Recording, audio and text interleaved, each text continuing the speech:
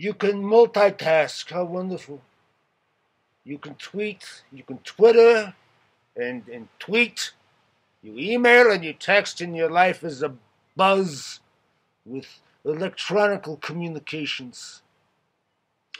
I know that older people always think the past was better, but really, instead of text with all those lowercase letters and no punctuation, what about a nicely crafted letter?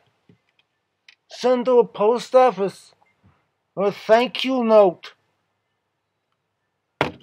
We used to lick postage stamps back then. Obviously, you've never heard of this. They didn't just peel off ready to made with sticky stuff on the back. The sticky stuff had to be triggered by your wet tongue. It took time. If you were sending out many letters, you could be licking postage stamps for 10 minutes or so.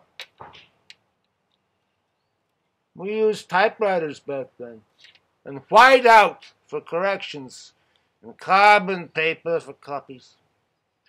We had telephones and we had to dial the number by putting our index finger in a round hole representing 2 to 0. If the number was 9099999, it'd take hours to just, just dial the number.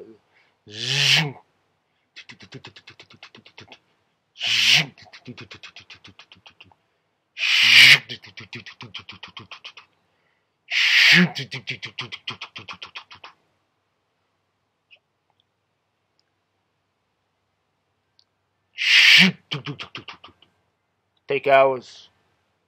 You had to have patience then. And we used to lick postage stamps. It was unpleasant, but uh, it had to be done.